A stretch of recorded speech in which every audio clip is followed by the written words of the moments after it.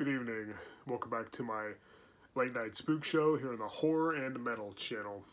I'm Hellhound. If I go and list my uh, top 10 favorite metal albums from the year 1986. So let's go and get started. Number 10 is going to be Orgasmatron by Motorhead. Yeah, it's a great album. Now, Lemmy and Company, Lemmy and Company did a great job on it. Uh, I think my favorite song is actually the title track, which is the last track on the album.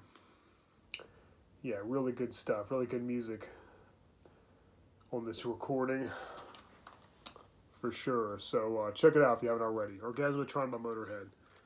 Fantastic record. Number nine is going to be Darkness Descends by Dark Angel, which I think was their last to feature vocalist Don Doty before he was replaced with Ron Rinehart. Um, yeah, they were uh, they were an awesome band. It's uh, they're mo- they're most well known for uh, having the drum talent, drum skills of uh, the legendary Gene Hoglan, uh, of course, behind the drum kit. So, but uh, yeah, everybody does a great job for sure. Yeah, great album. Darkness Descends by Dark Angel. I think I've reviewed this on my channel before, so for more info, check that out. Yep, it's a great album. Number eight, Rage for Order by Queensryche. Oh yeah. I love Geoff Tate's singing voice. He's one of my favorite singers. He can hit those high notes like it's nobody, nobody's business. Uh, I love Chris DeGar- DeGarmo's uh, riffs and solos. His guitar playing is just on point. I really wish that they were both still in the band, but the current lineup is really good too, for sure. Yeah, they obviously had their uh, stuff well researched when they released this album because it's a great one. Yeah, so many great songs. Yeah, lots of great tracks on this one. Yeah, Rage for Order by Queensryche, my eighth favorite uh, metal album from 1986. uh, number seven is going to be Pleasure to Kill by Kreator, which is their second uh, album, and uh, back when they still had uh, Jurgen Ventor Reil, the drummer, doing vocals on a lot of the tracks. I liked how him and Mille Petrozza switched off on uh, on vocals back then. It sounded really cool. Um, yeah, he had a great voice on uh, Riot of Violence. That was really, really awesome. Oh, yeah. Great thrash metal band. Uh, and they're, uh, they're one of the heaviest uh, thrash metal bands, too, I would say.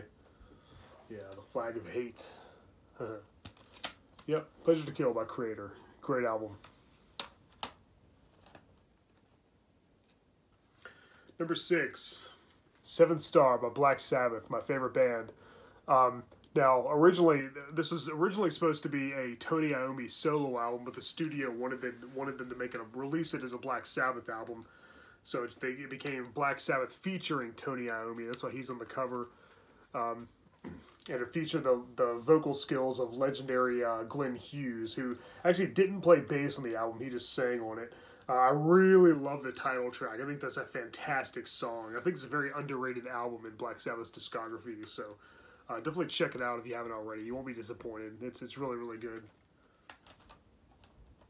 All right, down to the top five. Number five is going to be Fatal Portraits by King Diamond. Yeah, I love this band. I love King Diamond. His high pitched falsettos and ghostly wailing is just uh, just amazing. He's one of my heroes. Uh, the man needs to direct a horror movie, or at least write one. Um, yeah, I also love Andy LaRocque's guitar playing. It's just so spectacular. Um, yeah, everybody does a great job.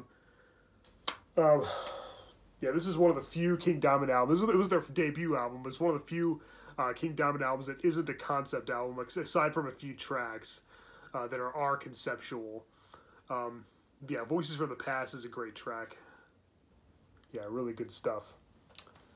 Fatal Portrait by King Diamond. Their first and uh, still one of their best. All right, number four is going to be Peace Sells, but Who's Buying by Megadeth. Yeah, you know this had to be on here. It's a masterpiece, a thrash metal masterpiece. Yeah, Dave Mustaine and company did a phenomenal job on it. It's, the, probably my second favorite album of theirs next to Rust in Peace. Um, it's just so good. We got Wake Up Dead, The Conjuring, uh, the title track, Devil's Island. Um, yeah, just it's just great. Just absolutely phenomenal in every way. Check it out.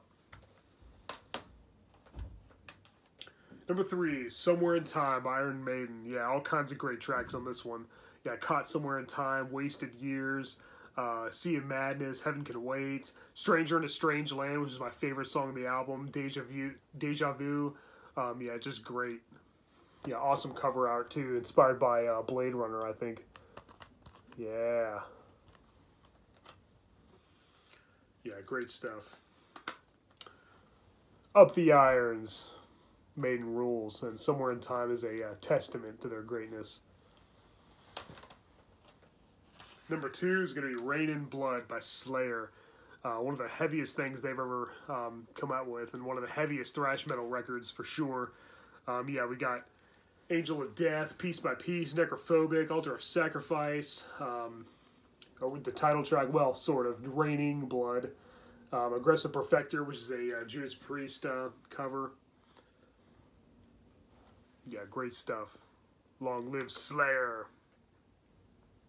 Yeah, Tom Araya truly was the voice of hell back then.